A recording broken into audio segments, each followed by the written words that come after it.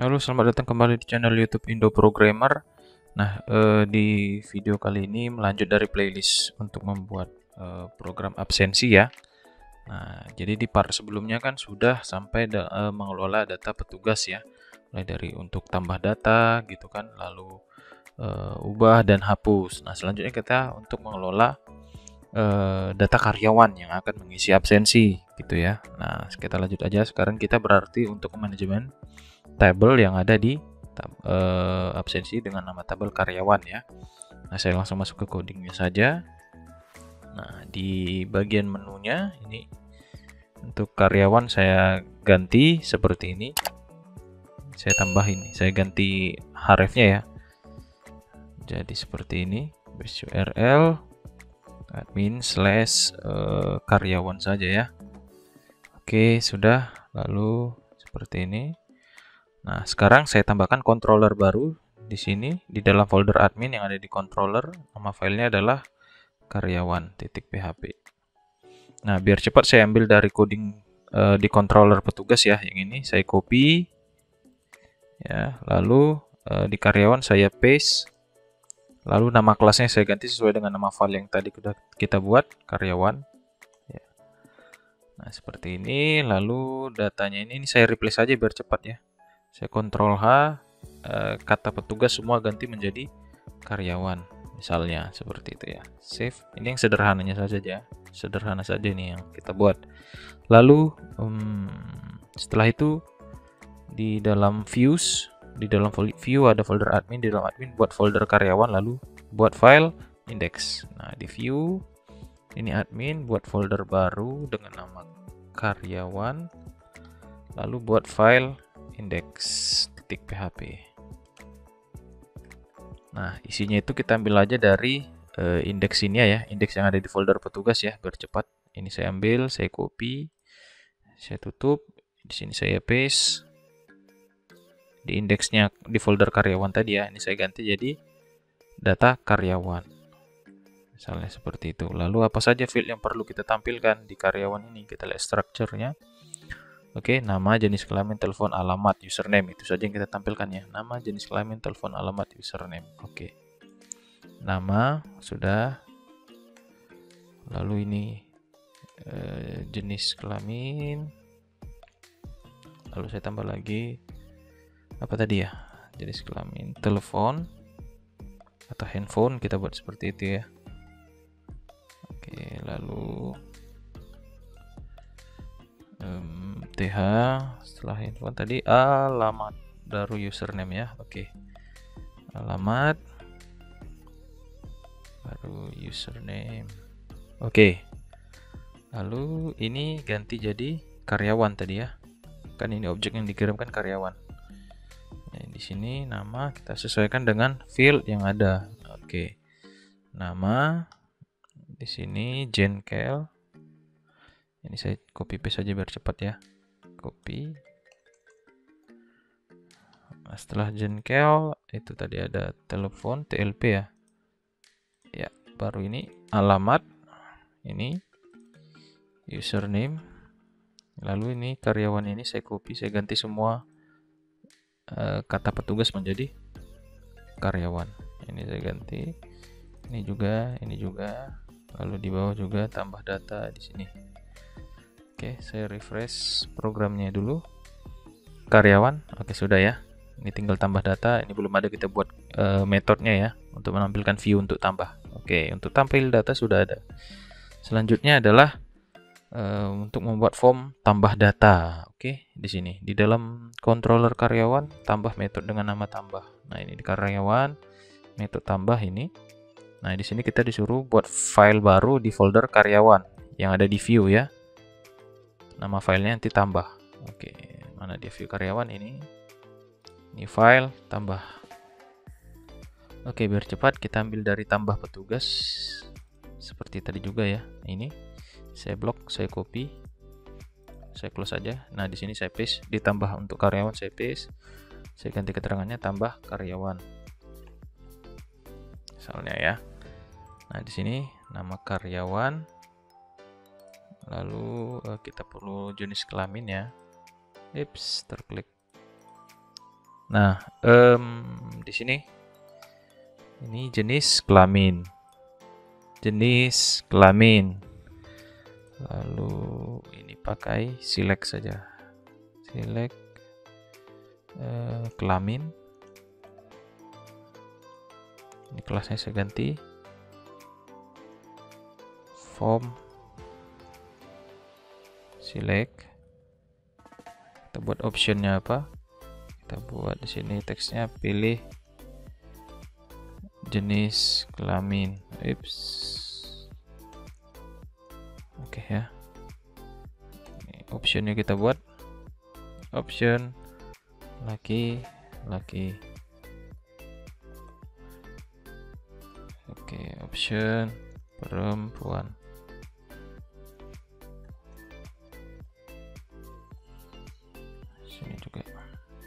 oke. Setelah berapa tadi ya? Setelah itu nomor handphone kita tambah lagi inputannya. Nomor handphone. Ini namenya kita buat TLP aja. Oke. Satu lagi alamat.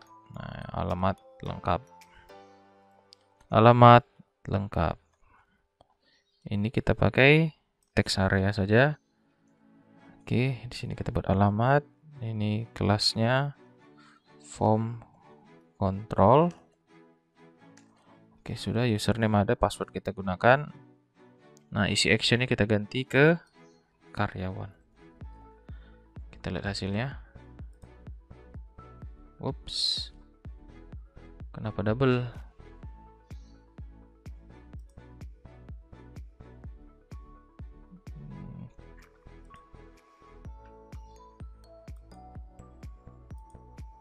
Wow, kok double ya? Sebentar ya kita cek dulu karyawan tambah sini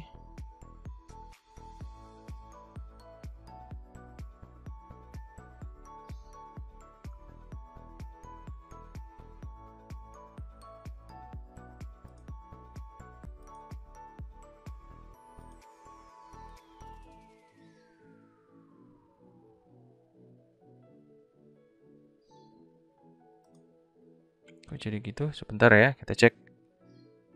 Admin karyawan tambah. Sini karyawan.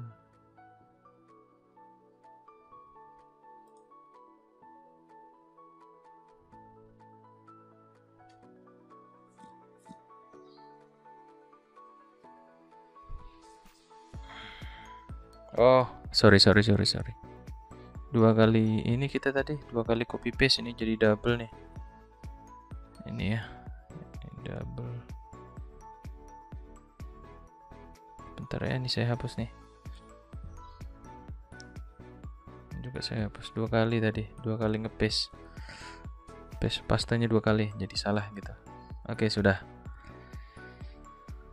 Oke nah ini tinggal kita input nih namanya nanti dan yang lain-lainnya sampai ke password. Nah terus um, lalu kita masuk ke metode simpan yang ada di controller karyawan ya. Nah di sini simpan. Nah ini kita tambahkan semua dulu uh, tampungan data dari textbox masing-masing ataupun select yang tadi. Uh, pertama kelamin ya. Kelamin dis input uh, post kelamin. Baru telepon tadi ya this input post uh, TLP lalu alamat this input post alamat. Oke sudah itu ya benar ya. Oke. Lalu selanjutnya kita simpan datanya ke dalam tabel karyawan di sini sesuai dengan strukturnya. Nama, jengkel, telepon, alamat. Oke. Okay. Berarti ini nama isi dari variabel nama, lalu jengkel dari variabel jengkel eh kelamin ya. Terus TLP, telepon, ambil dari variabel TLP juga dan alamat ambil dari variabel alamat. Oke, sudah passwordnya nanti kita langsung enkripsi MD5 aja ya. Nah, begitu ya. Lalu nanti kita simpan dengan perintah ini. Insert ke tabel karyawan, isi isi datanya apa? Berasal dari variable data array ini. Oke, kita coba ya. Kita isi Pratama misalnya. Jenis kelamin eh, laki-laki, nomor handphone saya buat nomor acak aja sebagai contoh. Ini kita buat jalannya kita buat acak aja juga ya. Lalu ini saya buat username-nya nanti Budi. Ini passwordnya Budi at 123 misal. Simpan. Oke, datanya udah berhasil disimpan ya, udah masuk. Sekarang kita tinggal manajemen ubah datanya. Oke. Nah, kita lihat di controller karyawan pada metode ubah udah sesuai ya. Yang dikirim di sini dikirimkan uh, primary key dari tabel karyawan ditampung oleh parameter ID. Oke, ini sudah pas. Ya, sudah pas. Sekarang kita buat di view dalam folder karyawan, nama view-nya, nama filenya ubah titik php. Nah, karyawan tadi mana? Ini. Ubah titik php oke. Nah ini saya ambil dari mana? Saya ambil dari tambah data karyawan tadi ini aja biar cepat ya. Copy. Uh, paste di sini. Oke tinggal kita ganti uh, judul-judulnya saja. Ubah data karyawan. Ini ganti actionnya ke s ubah. Oke lalu kita load datanya ke dalam setiap form ya oke for each variable cari as data ini datang dari mana carinya? Datang dari sini ya. Hmm, mana ubah ini? Uh, Oke ya, nama index array data di dikirim ke dalam view dengan nama ubah. Jadi dia dalam bentuk objek nih, saya rubah datanya. Jadi dia di result datanya di di result dalam bentuk uh, array object ya. Oke, seperti ini. Lalu penutupnya di sini. For each and for each sorry. And for each. And for each. Oke. Di sini saya load data eh, nama kan itu tadi ya value nya nah ini kalau di option ini saja yang saya ambil saya copy saya paste di paling atas untuk menampilkan jenis kelamin yang dipilih tadi apa. Data jengkel fieldnya ya yang di dalamnya itu setelah simbol panah itu uh, ininya ya. Hmm, nama field di tabel karyawan. Gitu. Oke lalu nomor handphone juga seperti itu value nya data fieldnya tadi TLP oke sudah.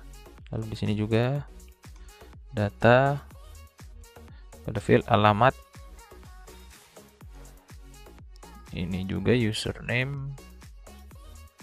Nah, data pada field username. Oke sudah. Passwordnya nggak usah kita ubah yang ubah nanti ya karyawannya masing-masing kalau mau merubah password gitu ya. Sudah ini lalu kita tambah lagi input dengan jenis uh, sorry hidden. Kita kasih nama kode. Value nya adalah uh, variable data di ID karyawan. Primary key dari setiap data di tabel karyawan. Nah begitu.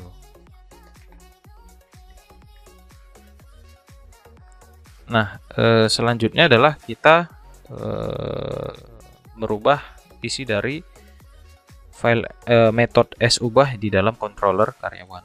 Subah Nah ini ya, berarti saya samakan aja dengan waktu tambah data ini kan. Ini saya tambahin, ini saya copy, eh sorry, saya copy, saya paste di sini, ditambah di bawah ini, seperti ini. Sudah.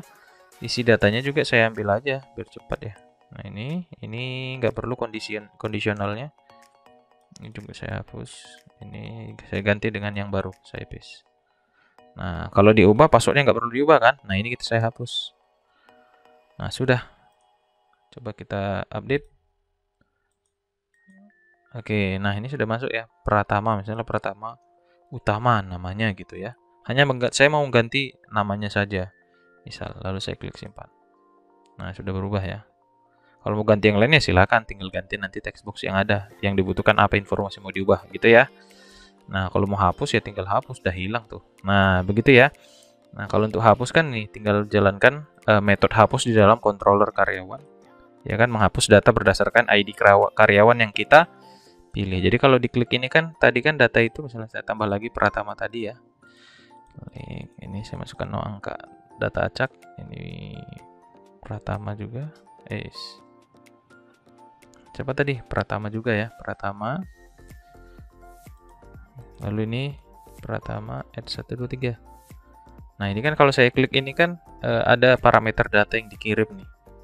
Yaitu ID primary-nya. Nah, ini juga begitu, hapus juga seperti itu. Jadi ketika saya klik hapus, dia akan mengirimkan primary key siapa nih yang mau dihapus, begitu ya, maka disesuaikan di sini. Where ID karyawan sama dengan isi parameternya. Lalu ngapain berdasarkan clause aware yang ada? Delete gitu ya. Nah, itu saja. Nah, silakan ikuti nanti step by step dari program ini yang tutorial saya buat dari part keempat ini. Ya, ikutin aja pelan-pelan. Nah, jangan lupa nanti di klik tombol like kalau suka ataupun uh, share ke teman-teman yang lain yang butuh eh, panduan-panduan uh, dalam membuat aplikasi absensi menggunakan GPS ya. Ini cukup khusus dengan kasus karyawan ya. Nah, dan jangan lupa di komen kalau ada yang mau ditanyakan, nanti seusaha saya, seoptimal saya bisa membalas. Dan juga jangan lupa di klik tombol subscribe. Itu saja ya yang bisa saya berikan di video kali ini. Saya ucapkan terima kasih.